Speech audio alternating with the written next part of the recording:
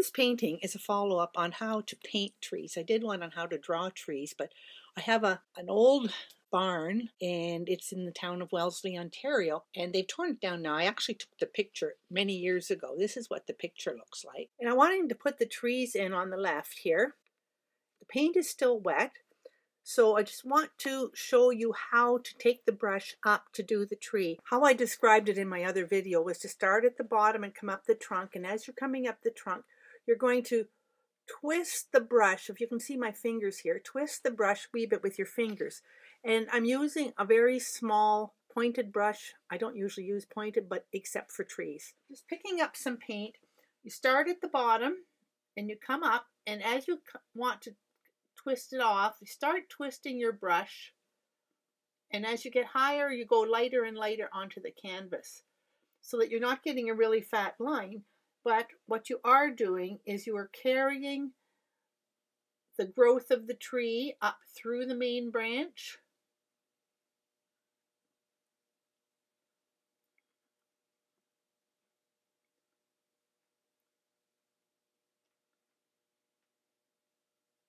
I haven't put any thinner on here. You can if you really need to. Please make sure that the trunk at the bottom is wide enough to support the branches up at the top because you don't want to have your branches heavier than the trunk. The background is dark and the light is coming from the left side. So I'm going to put a little bit of white on the brush and because the paint is wet, it will mix with the paint on the canvas. So it will not be white all the way up.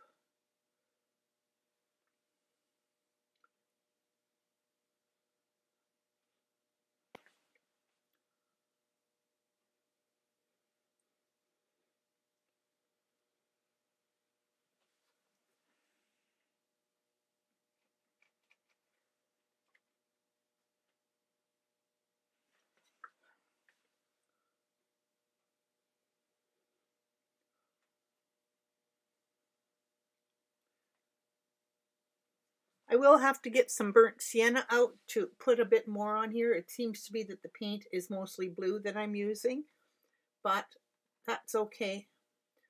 It's a nice contrast to the dark in the background. Notice that I do have a bit of an angle here on the base of the tree. They're not all coming out at exactly the same line. So it's showing that they're going down the back of the hill that happens to be there.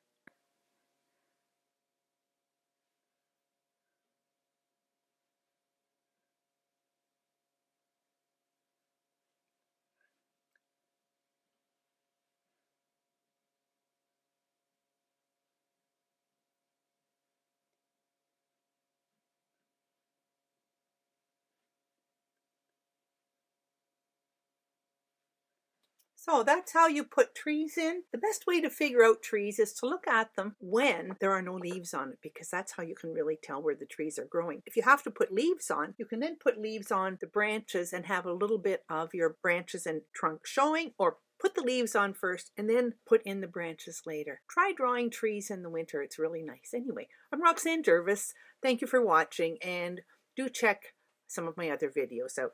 Please subscribe. Thank you.